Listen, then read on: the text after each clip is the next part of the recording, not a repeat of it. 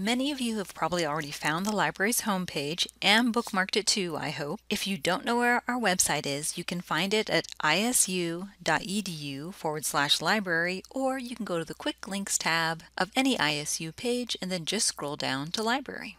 The library's website isn't static or unchanging. We are always trying to improve it to make it easier to use. So what you see here in this video may not 100% match what you see on the current website, but it should be pretty close. The number one feature we have on our website is this big search box. The default is for a feature called OneSearch. This searches almost everything we have access to, so it's great in that you'll almost always find something, but it can be frustrating because you'll almost always find too much. I'm going to do a quick search on compassion fatigue.